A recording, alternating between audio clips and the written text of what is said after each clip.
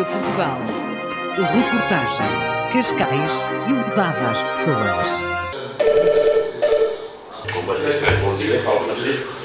127 anos comemoram os bombeiros de Cascais no dia de hoje e por isso também é razão não só para fazer um reconhecimento público, mais um reconhecimento público do quanto tem sido muito importante para Cascais. Cascais Conselho, porque os bombeiros, embora tendo nascido em Cascais, todas as outras quatro corporações têm de algum modo a ver com a história também dos bombeiros de Cascais, porque na altura foram criadas as várias secções. Mas de facto a primeira operação dos bombeiros de Cascais foi em 1888, na Rua do Poço Novo, aqui em Cascais, e desde daí até hoje temos tido nos nossos bombeiros parceiros que nos ajudam a estarmos cada vez mais protegidos. E são momentos também de comemoração do aniversário, também servem para que possamos alertar para um conjunto de situações que no nosso país ainda não estão corrigidas.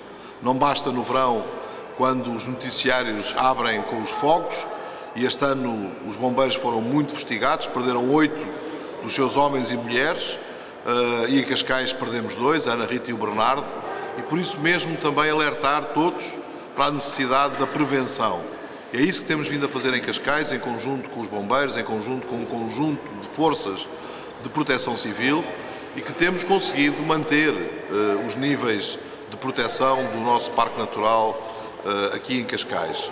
Também fez ainda há poucos dias, no dia 18 de novembro, 30 anos das grandes cheias de Cascais.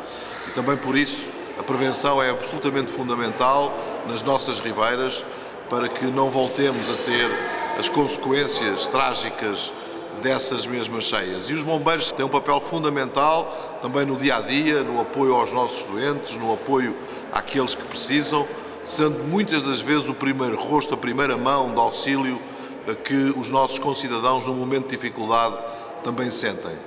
Tudo isto são razões para nós estarmos muito agradecidos a estes homens e a estas mulheres, com grande competência, com grande disponibilidade, com uma grande entrega e, como tenho vindo a dizer, que têm, na verdade, o exercício prático da sua cidadania e de amor ao próximo.